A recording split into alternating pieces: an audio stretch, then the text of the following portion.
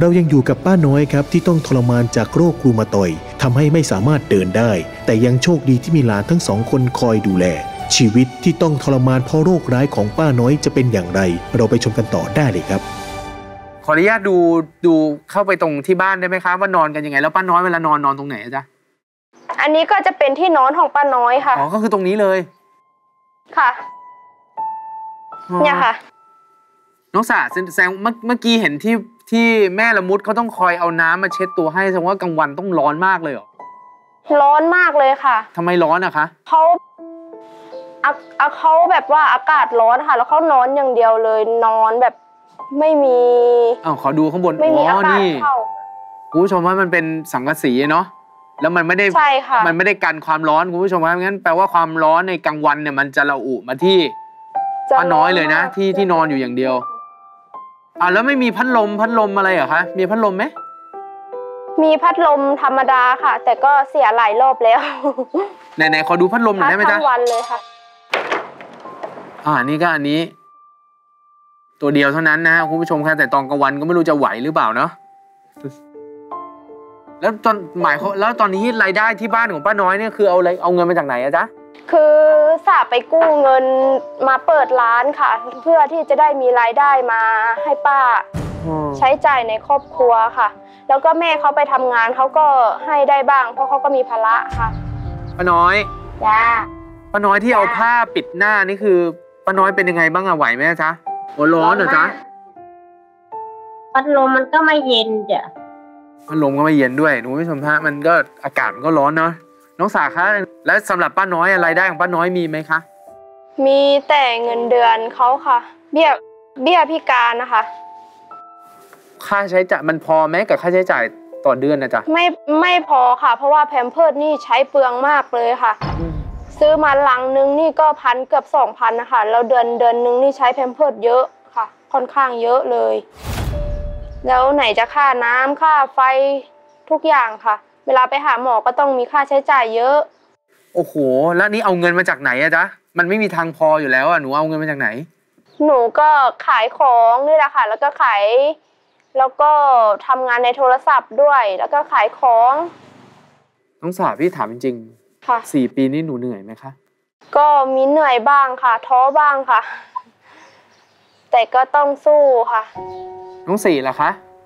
หนูเหนื่อยไหมลูกมาดูคุณมาดูแลคุณป้าเนี่ย ต้องมาหนูอายุสิบขวบเองลูก ก็เหนื่อยค่ะ แล้วเหนื่อยแล้วหนูทำไงคะ ก็ต้องสู้ค่ะ พี่ซีได้ยินว่าหนูหารายได้พิเศษด้วยเหรอ ค่ะ หนูทำยังไงคะ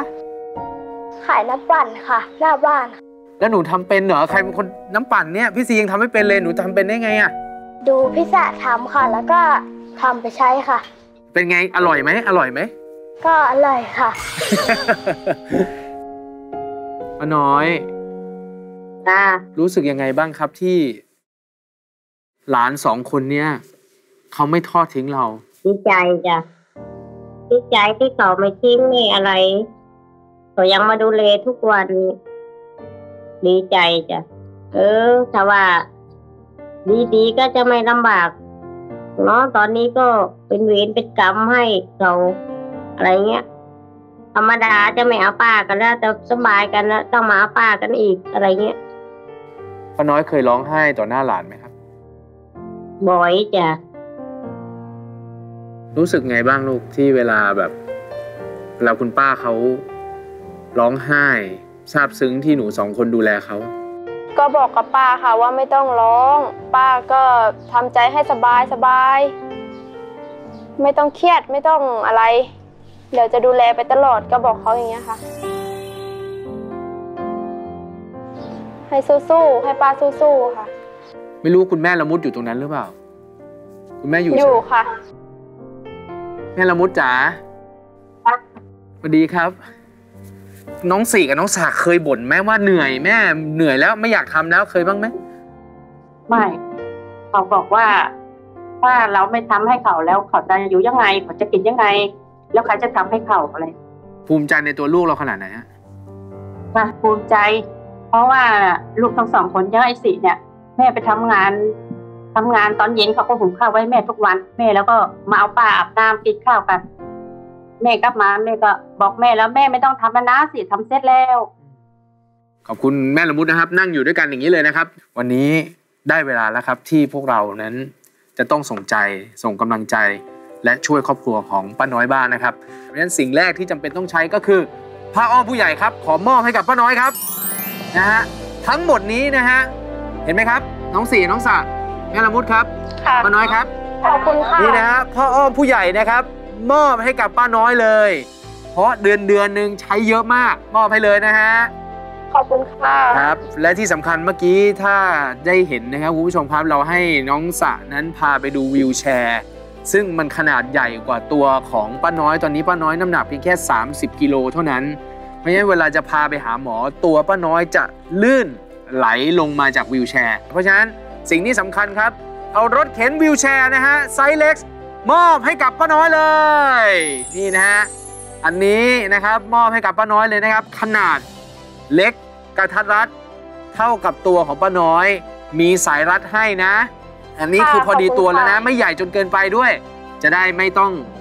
ต้องคอยเอานู่นเอานี่มายัดเนาะและที่สำคัญคุณผู้ชมครับเมื่อกี้บรรยากาศที่บ้านนะตอนนี้หนูร้อนไหมลูก ร้อนไหม ร้อนมากเลยค่ะอืมเพราะฉะนั้นเรามอบพัดลมไอเย็นให้กับป้าน้อยมอบให้เลยมอบให้เลยนะครับ นี่ อันนี้เป็นพัดลมนะครับ ไอเย็นมอบให้กับป้าน้อยจะได้สบายๆนะป้าน้อยจ๋า อ่านี่ป้าน้อยเห็นไหมครับไหมเห็นจ้าอ่าเป็นไงบ้าง จะได้ไม่ร้อนนะสวยมากจ้ะจะได้ไม่ร้อนนะ เดี๋ยวให้เดี๋ยวให้น้องสีน้องสาเขาเขาปรับให้แล้วกันนะว่าไม่ยากใช้ไม่ยากนะครับ และที่สำคัญคุณผู้ชมครับเรื่องอาหารการกินก็เป็นเรื่องสำคัญ เพราะฉะนั้นเราจะมอบข้าววรรณภพนะครับ ข้าวเติมวิตามินสะอาดไม่ต้องซาวเอาไปเลย 30 กิโลน้องสาขา น้องสีลูก ข้าวนี้สะอาด หนูไม่ต้องซาวนะ ใส่หม้อหุงค่ะกินได้เลยนะเอาปลากระป๋องไปด้วยครับ เอาไปเยอะๆเลยนะฮะให้ทั้งครอบครัวเลย นี่มีปลากระป๋องนะครับมอบให้กินเป็นเดือนๆได้เลยครับ แล้วเพิ่มไปอีกเอาไข่ไก่ไปด้วยฮะไข่ไก่ไปด้วย น้องสี่ทานได้ใช่ไหมลูกหนูทานไข่ได้เนาะปลากระป๋องก็ได้เนาะแล้วก็เอาน้ำดื่ม เพิ่มไปให้อีกครับขอมอบน้ำดื่มนะครับ ให้กับป้าน้อยด้วยนะครับ แล้วครอบครัวมอบให้เลยนี่ทั้งหมดนี้นะฮะเป็นน้ำดื่มเวิร์กพอยต์สะอาดแน่นอนนะครับ เป็นน้ำของเราเอง และที่สำคัญ